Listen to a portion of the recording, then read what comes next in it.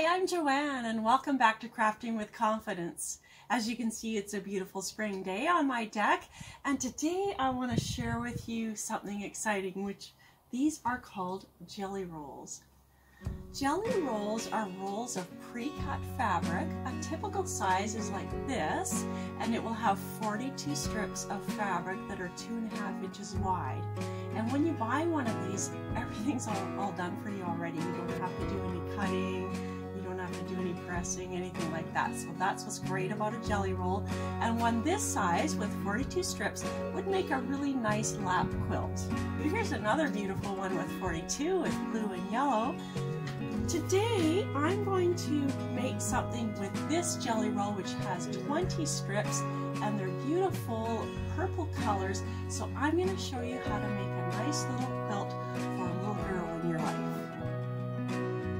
The first thing I'll do is unroll this little jelly roll and lay out all the strips. It's a bit like discovering treasure as you can never guess exactly what's going to be in the roll.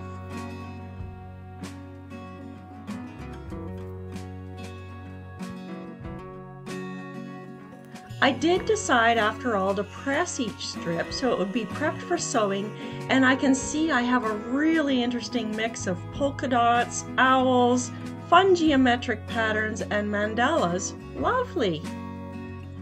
Next, I arranged the strips into five groups of four strips each, varying how I ordered them, making sure each group included some purple, some pink, and some gray. And I sewed these sets of four together, resulting in long sections like this. On the wrong side of each section, I pressed all the seams in one direction and then I pressed them the same way on the right side. After that, it was time to cut each set of four into generous eight and a half inch strips so that they would form perfect squares for the quilt I had in mind.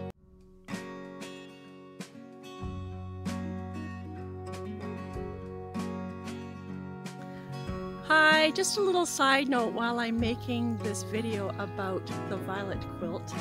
Um, I haven't been very busy on crafting with confidence over the last five weeks because it was my retirement month in June and I was very busy wrapping up my 33 year teaching career and then having various events to attend. So now that I'm all done, I'm back at it and I look forward to sharing this video with you really soon and getting back on track with regular Crafting with Confidence videos. Getting back to our quilt project, I've now cut 28 and a half inch squares from the five strips and have arranged them in an alternating pattern which I will then join together with these two and a half by eight and a half inch purple strips resulting in five rows that look like this. And once those five rows are created, I'll join each set of rows together with a longer purple strip, leading to this pattern of 20 squares. Unlike other quilts that I've sewed recently, which all followed patterns, for this quilt, I'm just making my color decisions and sewing decisions as I go. I like how this purple sashing draws the other colors together, so next I'm going to sew a wider purple sash around the whole quilt. And indeed, this 3 inch outside border really seems to make the inside colors stand out. Now that the quilt top is complete, I'm going to prepare the backing. As I usually do, I've sewn together two large pieces of soft purple flannel, have pressed open the seam, and laid it out on the carpet. Here is the quilt sandwich with the flannel layer, right side down on the bottom, a slightly smaller batting layer in the middle, and the quilt top on the top. After making sure it's all smooth, it's time to pin all three layers together in preparation for quilting. I like to use these slightly bent quilting pins to do this, and I'm choosing to pin all along the purple sashing, being sure to smooth it out after each pin and later in the middle squares so it ends up looking like this. My machine quilting plan is to sew along the outside edge of each darker purple border, and after that I'll diagonally across the inside squares. Here goes! You may be wondering during these beautiful summer times when it's so green and lush everywhere, why would anyone want to be quilting? Well, what I find is that all this greenery summer is actually an inspiration for quilting and it creates a nice balance in one's life during these beautiful months. By the way, if you have some ideas of what you'd like to see me try out on Crafting with Confidence, please just write your suggestions in the comment box below. The machine quilting takes some significant time and patience as you often need to stop and move the bulk of your fabric along, especially in the section between your needle and the machine. Sometimes I'll listen to podcasts or ebooks while I'm doing this to ensure I'm not rushing. At times the sewing is easier, as you see here, or more difficult like you see here with all that bunching. I think the machine quilting took me about three hours in total. And when that was done, I carefully cut off the extra backing and batting so the edges of the quilt were nice and even.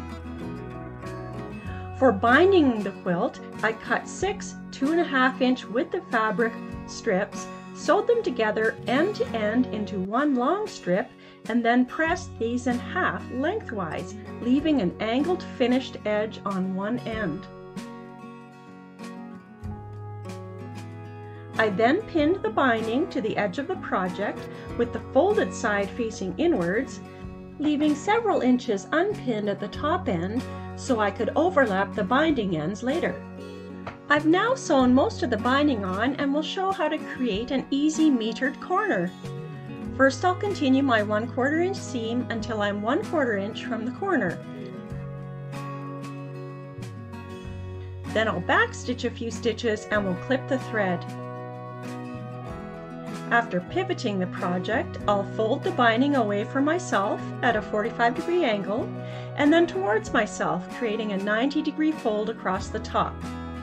I'll start stitching again 1 quarter inch from the corner, making sure to reinforce with some back stitches, and then I'll continue sewing, tucking the unfinished end of the binding into the angled finished end and stitching over all the layers. Finally, I get to hand stitch on the binding, one of my favorite parts of quilting as I know I'll soon get to see the finished project. The back side of one mitered corner looks like this, and you can see the right side folds into a nice 45 degree corner like this. And when the weather turns lousy, I can just sit back and enjoy my hand stitching.